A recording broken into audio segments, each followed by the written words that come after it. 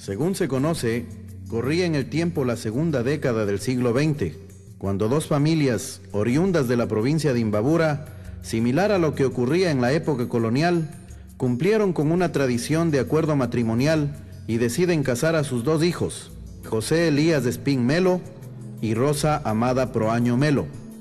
Siendo estos dos todavía niños y desconociéndose hasta la actualidad, si les unía algún parentesco por llevar igual el segundo apellido. Debido al estricto sistema social de la época, el matrimonio se realiza comenzando la joven pareja a vivir en Imantaj, pequeño pueblito de la provincia.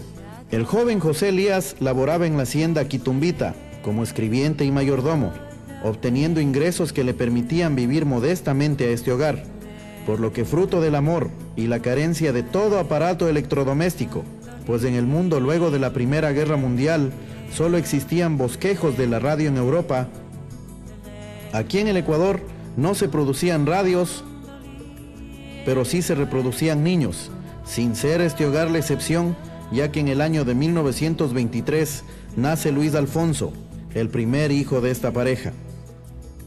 Dos años después, en 1925, nace Tulita Castorina. Seguidamente nacerían Efraín Osvaldo,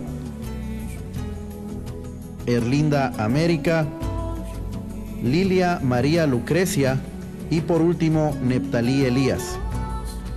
Estos niños crecen en medio de inocentes juegos y lamentablemente no gozan hasta su adolescencia de la figura paternal, debido a que desde el año 1936 su padre José Elías es aquejado por una extraña enfermedad que obliga a la familia a atenderlo y vivir en una forma más modesta aún, falleciendo en el año de 1939 en el Hospital Eugenio Espejo de la ciudad de Quito.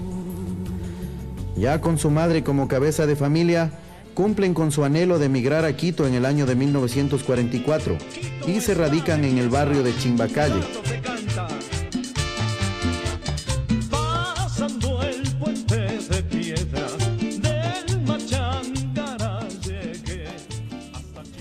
Para esto, doña Rosa Amada comienza a laborar en los abastos de la municipalidad para con su remuneración asistir a su familia la misma que había comenzado ya su disgregación en Imbabura con el matrimonio entre Luis Alfonso y doña Esther Burbano.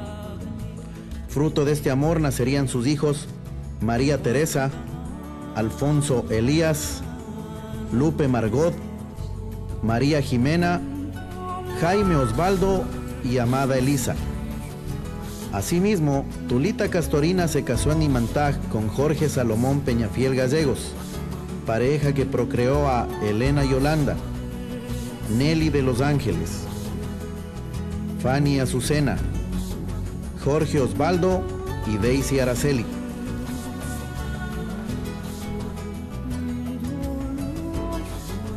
El siguiente matrimonio fue el de Efraín Osvaldo, quien se casa en Quito en el año de 1950 con doña María Lucrecia Garrido Arellano, siendo sus descendientes Jorge Hernán,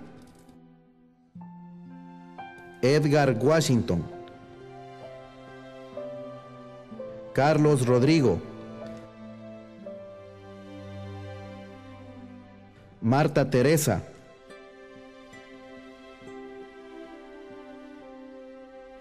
Oscar Gustavo,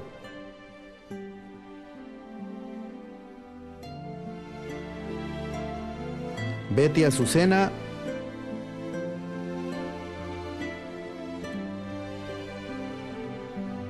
y Edwin Omar.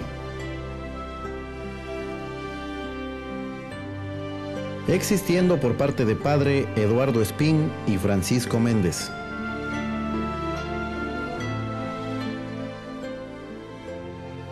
De igual manera, Erlinda América tiene como descendientes a sus hijos Luis Ricardo Bernal, Hilda Magdalena Espín y Mercedes Montalvo.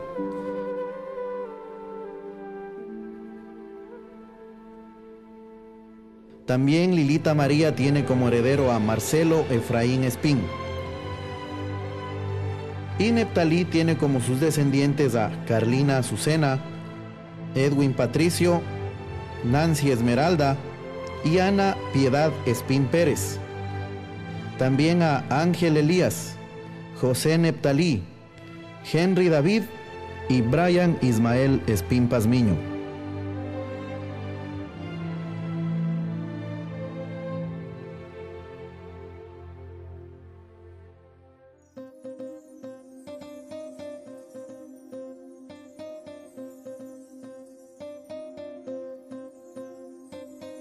En la década de los 50, alguien de la familia comenzó a laborar en la fábrica de sombreros Son Valle, ubicada en Chimbacalle junto a la estación del ferrocarril. Como anécdota de este tiempo, recuerdan todos los primos que en la casa ubicada en la esquina de las calles Cayambe y Antizana se reunían a pelar con tijera cueros de conejo, generalmente de color gris, ya que con esa lana se elaboran hasta el día de hoy los sombreros de alta calidad. En esta fábrica pagaban por quintal. Imagínense ustedes completar un quintal con esa lana que resultaba sumamente liviana. A la vez que se juntaba la lana y se utilizaba muchas tijeras de todos los tamaños, se conversaba y se molestaba a algunos protagonistas. Por ejemplo, a las hermanas Peñafiel por su manera de hablar, al primo Marcelo por su manera de cantar los cánticos religiosos cristianos de ese tiempo. ¿Quién iba a pensar que hoy sea ateo? A los hermanos de Espingarrido por su rapidez al hablar, específicamente a Guachito. En esta fábrica, el trabajo era muy arduo y se cortaba la lana con tanto empeño que al otro día se tenía que mandar afilar las tijeras con el afilador ya conocido en el barrio. También, como los padres de la familia Peñafiel Espín y Espín Garrido ya eran choferes, se contaban anécdotas de viajes realizados tanto por los hermanos Espín como por las hermanas Peñafiel o si no se terminaba jugando a las luchas entre primos, especialmente los varones. Siempre ante la mirada inquisidora de Mama Rossi, que no dudaba en defenderle a su luchito querido, a quien peinaba con ayuda de saliva a fin de que la concha no se le desforme. O a Marcelito, hijo de Lilita, intocable en ese tiempo.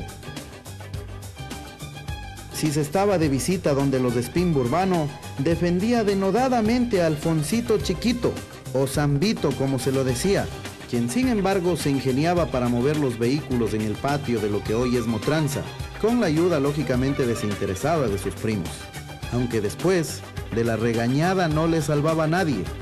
Peor de la remordida de los dedos en la puerta de un camión, no le salvó ni Mami Rossi. Los antecedentes expuestos hacen notorio la unión de las familias lo que se fue olvidando con el transcurso del tiempo. Pero hoy, con la realización de estas reuniones denominadas muy acertadamente como la fiesta de la unidad familiar, se pretende estrechar lazos de hermandad entre viejas y nuevas generaciones. Esto permitirá, aparte del contacto físico, el soporte mutuo entre familiares en las áreas profesionales o comerciales en las que se desempeñan actualmente. Sabemos que el camino ha sido largo y que muchos de los ahora presentes tuvieron incluso que viajar miles de kilómetros para estar aquí hoy.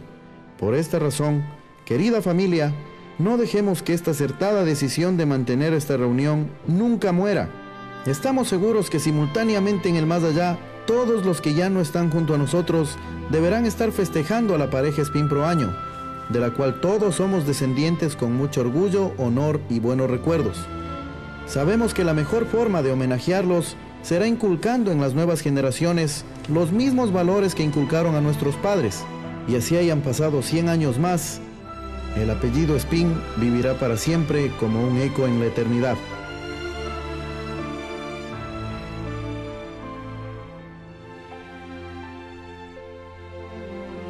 Lo ora la pareja de esposos de Spin Pro Año.